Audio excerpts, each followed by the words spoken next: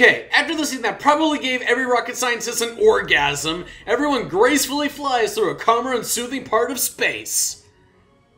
Well, almost everyone. Hey, Jimmy! Do you think we can rotate ships after a while? Hey, we'll switch.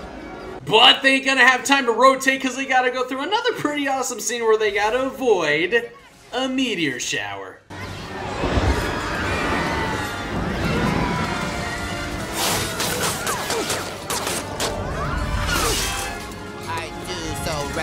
I find it kind of funny how the Viking ship in Sheen gets hit, but none of the bigger rides do. Also, I just want to ask, which ride would you hate to be on during this? I'd personally hate to be on the Octopuke back here. I love these rides, but to also avoid a meteor shower in the process, I'd be blowing out Yoki and Chunks in 2.0982 seconds. They land on an asteroid for the...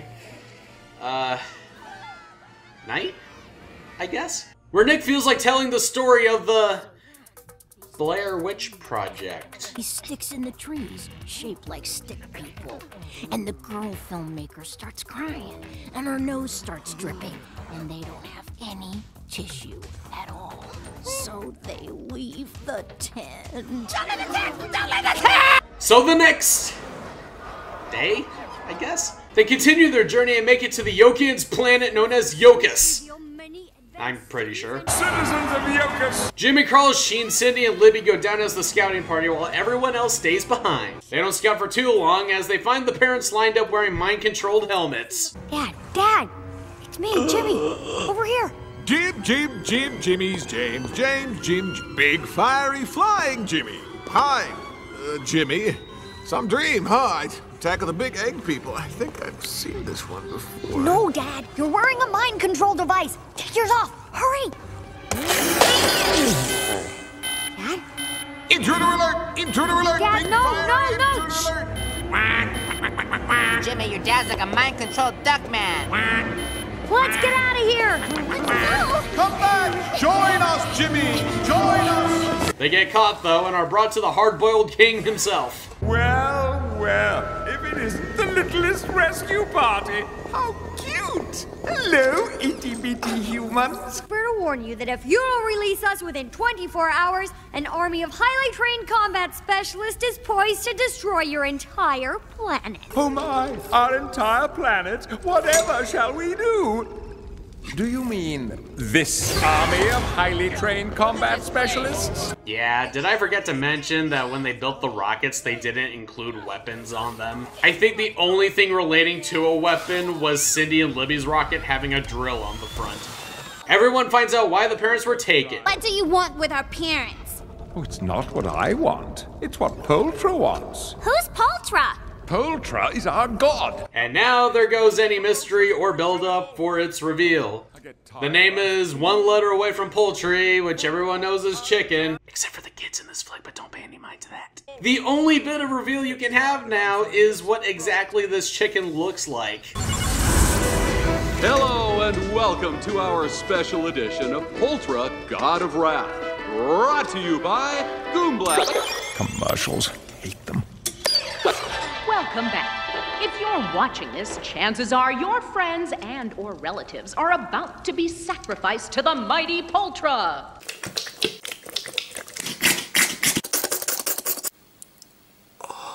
Also, everyone finds out it was Jimmy's fault for the whole abduction in the first place. And it's all thanks to Jimmy Neutron. Greetings from planet Earth. I'm Jimmy Neutron, and you're an alien life form. You know, without the coordinates you gave us, we never would have found your puny little planet. The kids are sent to prison cells and Ooblar takes Goddard to disassemble them. Then we gotta have a scene where everyone is of course mad at Jimmy. Well, except for one obvious character with a sudden change of heart. Don't listen to them. They're just scared. Uh, okay, so you made a mistake. beating yourself up isn't gonna fix anything. You know, I was the smartest kid in school until you came along. And I admit you know more about some things than I do. But I know one thing that you don't seem to get. And that's that we're never getting out of here without you. So why don't you buck up, mister? And put that big brain of yours back to work. This helps motivate him into coming up with a plan. He calls Goddard, and while on speakerphone, imitates a self-destruct voice. Danger! Danger! You have initiated self-destruct sequence alpha. Ooh, that's my bad. Back and you go. Self-destruct sequence is now engaged. No, no, no, no, no. I put it back in. You understand me?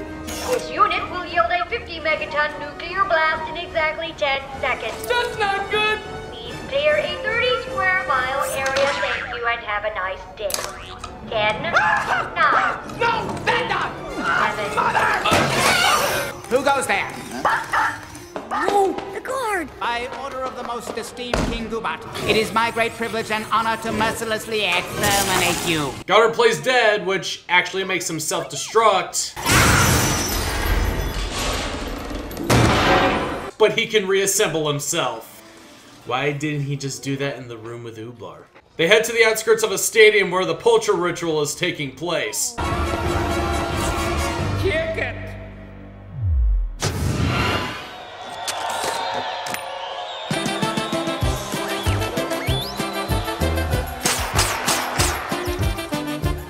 Yeah, that's good and all, but I would have preferred this. Kick it.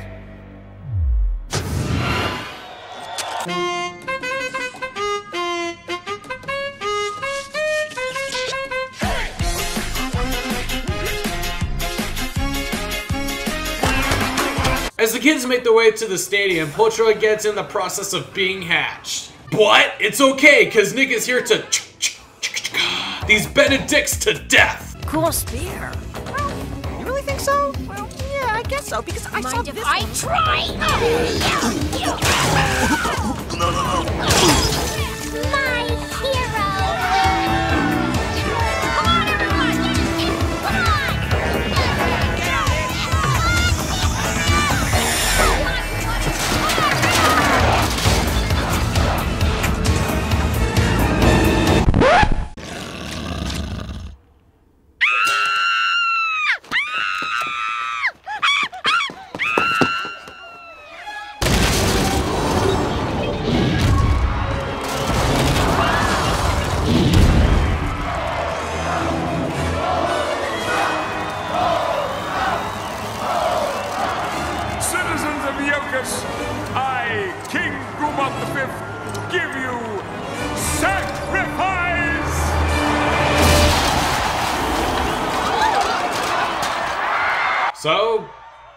here she is. With Poultra released, Jimmy now has two major issues. How to rescue the parents, and how to actually leave the planet.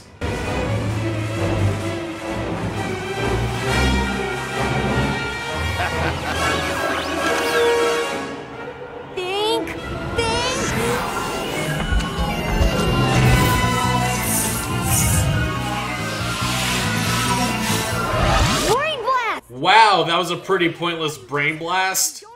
He just looks at the remote control and the rocket and immediately goes through that whole process.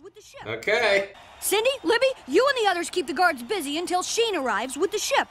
Okay, I heard the ship part, but um, was that Sheen get the ship? Yeah, yeah. Oh, wait, oh. Listen, there's a transport ship in that airfield big enough to carry all of us out of here. I need you to get it here as fast as you can. But I, I don't have a driver's license. I have no hand-eye coordination. Sheen, ask yourself, what would Ultra Lord do? I accept this responsibility, understanding the consequences that you've bestowed against me. But I gotta admit, what follows is pretty awesome too. Now, who's gonna kick buttocks? The carbonated life forms! All the kids scrambling with the Yokian army, and the more important characters using their quirky traits to fight them. Stop those kids!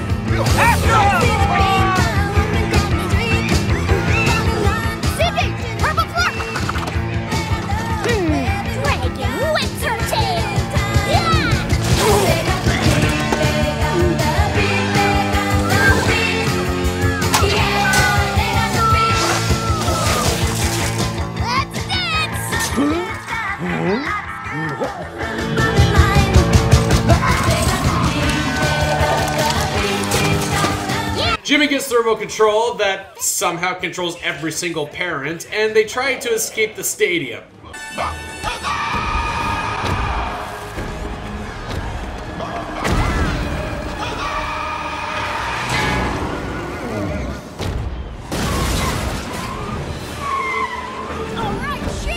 Not gonna lie, I would have liked to see how she managed to get a hold of it. Man, Sheen flies two rockets in this flick, and neither instance do you see him launch. Actually, now that I'm thinking about it, what would have been the plan if they didn't have this particular rocket and still had the rides? To my knowledge, every single ride was full unless they had room on the Ferris wheel, which even then probably wouldn't have had enough space for everyone. But they escape, making Poultra's reveal, and existence for that matter, pointless. But Goobot's not finished. Time to discipline the naughty children. However, Jimmy has ideas of his own to fight them off. Okay, who wants fried chicken?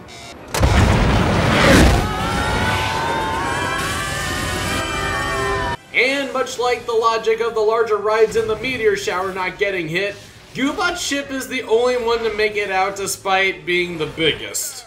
Neutron, now it's just you and I! All weapons online! However, Jimmy's got one more plan up his sleeve. I know we haven't field tested this feature yet, but we have no choice, buddy. Goddard! Fly cycle! Mm-hmm.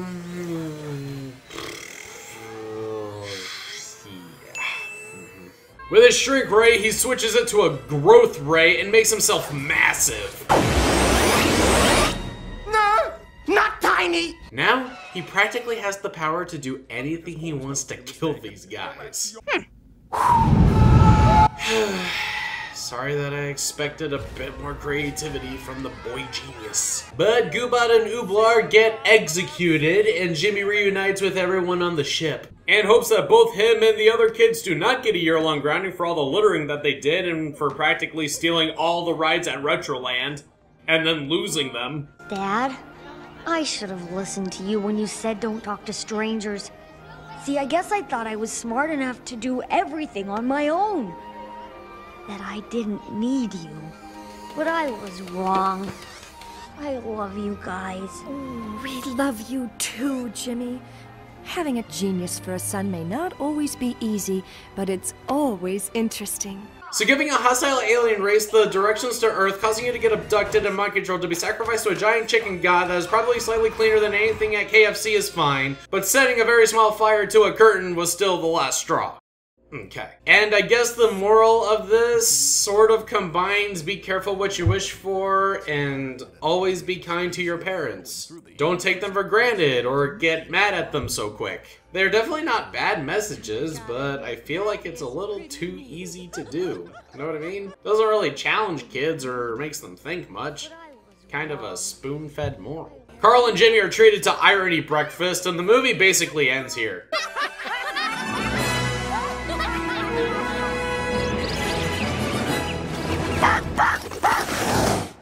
So, what are the final thoughts?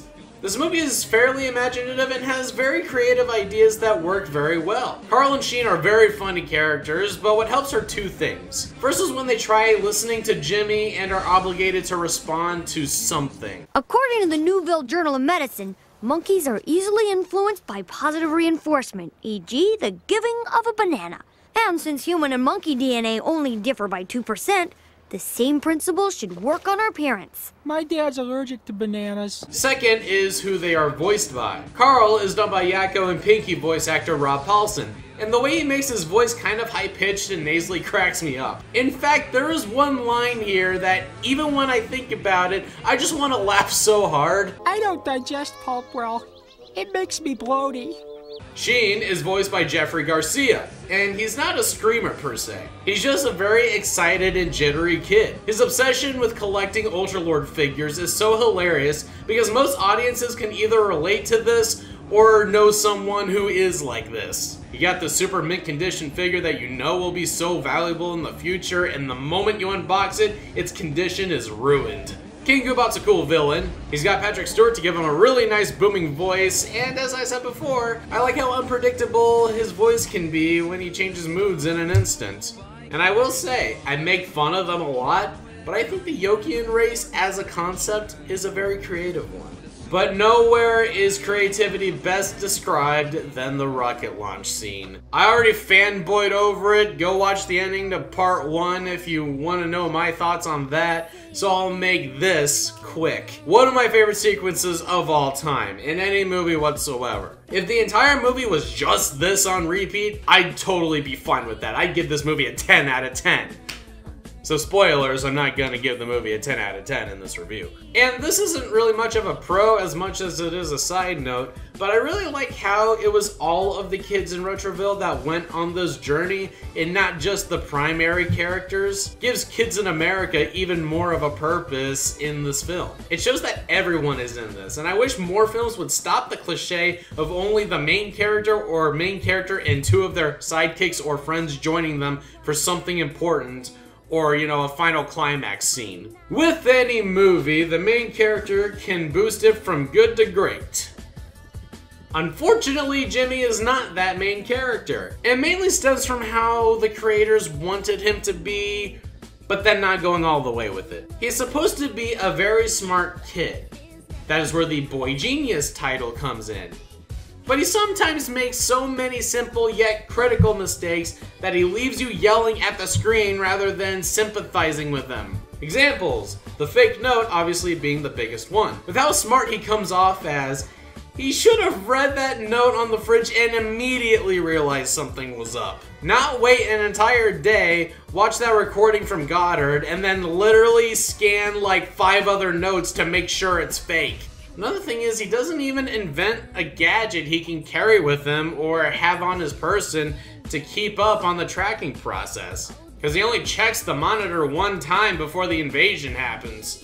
And these are just things that don't make sense to me from what's supposed to be a very intelligent character. His quirk is that all of his inventions eventually glitch out. And honestly, they should have kept it that way. Because experiments and inventions can glitch out and break all the time, even when made or tested by real scientists, so it wouldn't be as far-fetched of an idea. And I didn't really care for Cindy, at least in the movie. In the show, she has a bit more personality because you can actually develop characters easier in an episodic manner. But here, she's just a rival making fun of Jimmy and then has a fairly rushed arc that shows she likes Jimmy even though she also likes Nick.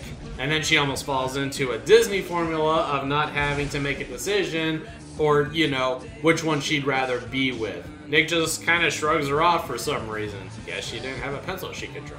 So now they make it an obvious choice for who she should like. I think it would have been a nice change of pace for her to continue being that rival throughout without being so easy to have a change of heart. And yes, I am including Nick on here because that's his only purpose. Sure, he gives the idea for Jimmy, Carl, and Sheen to sneak out, but it could have also been anyone to tell him. Heck, Jimmy could have had that plan on his own had the bribing plan not worked. Plus, it's not like he remembers Nick telling him to sneak out. He got the idea officially from Goddard, of which was not with Jimmy when Nick gave them the idea.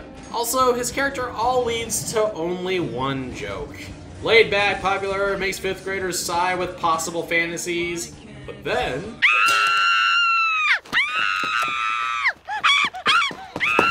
So now, if you happen to have not laughed at this moment, then he was a complete waste of time. To express my thought on this punchline, I'll have Gordon Ramsay break it to you. Not good enough.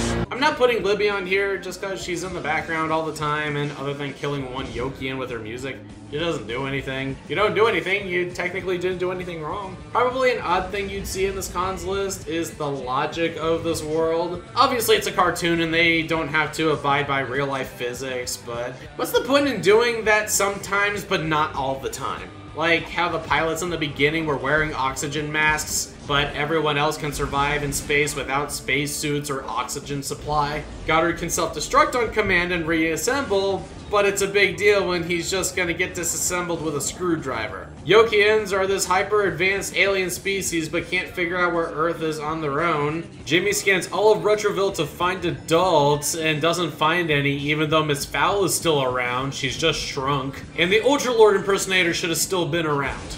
Those are but a few examples of things that just leave your head scratching when you think about stuff too much. Poultra was a wasted opportunity, if you ask me. There wasn't a whole lot of build up to her reveal, and she doesn't do much except stare at her food and squawk a couple times. Plus, she appears about an hour and six minutes into this hour and 18 minute movie, excluding credits, and her scene only lasts for about five minutes.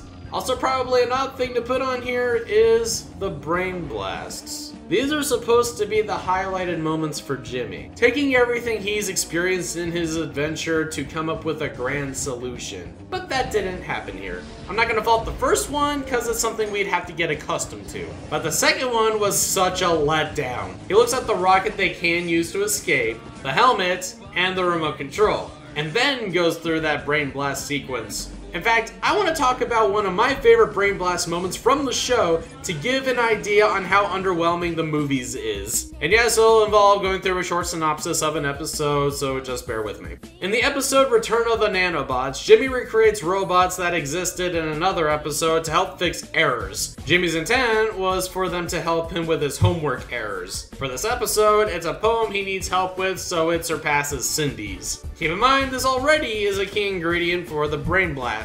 Eventually, the nanobots take fixing errors a little too far and start deleting every human on Earth except for Jimmy and Hugh. Hugh had a mini story where he thinks he's the last human on Earth, so he surrounds himself with one of his running jokes of the show, pie. As the bots go after Jimmy to make him the last one deleted, Jimmy overhears Hugh say this. Endless pie. Endless pie. And then he brain blasts about those two words, endless and pie.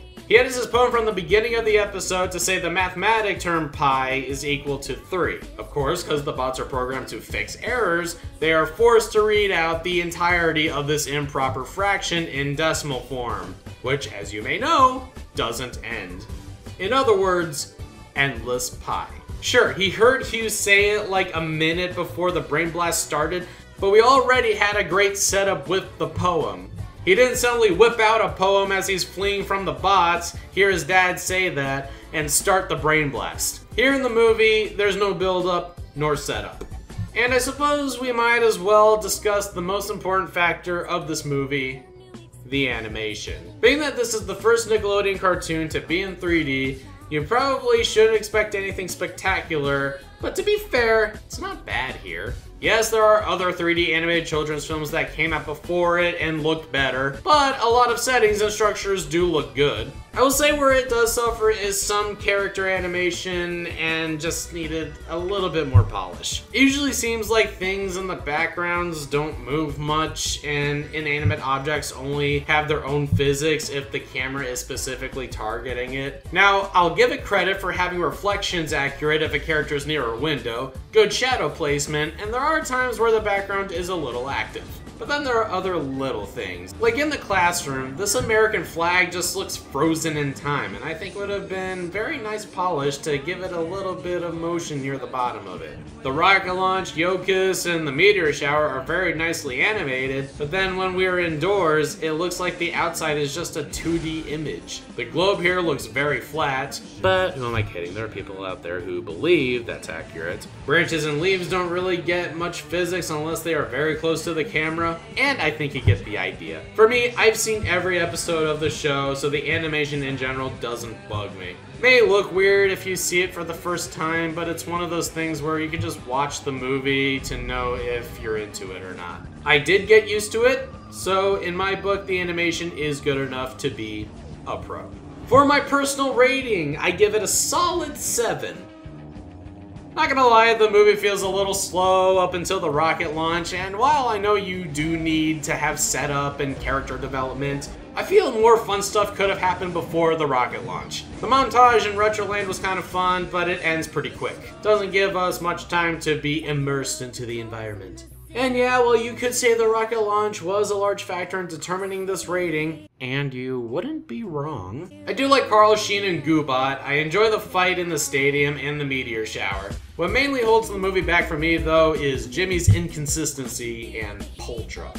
And you know what? For the first time, I'm gonna give my realistic rating the exact same verdict for the exact same reasons. It may not be a perfect movie, but it's one that I like to rewatch on occasion. And seeing how it spawned a whole cartoon series, seems like I'm not the only one who enjoyed it. So, even though this movie has aliens in it, I don't know if you would consider this a Halloweeny movie. And being that part one was blocked worldwide for two months, that may happen to this part as well. But nonetheless, I will be sure to give you a Halloweeny review probably around Christmas time.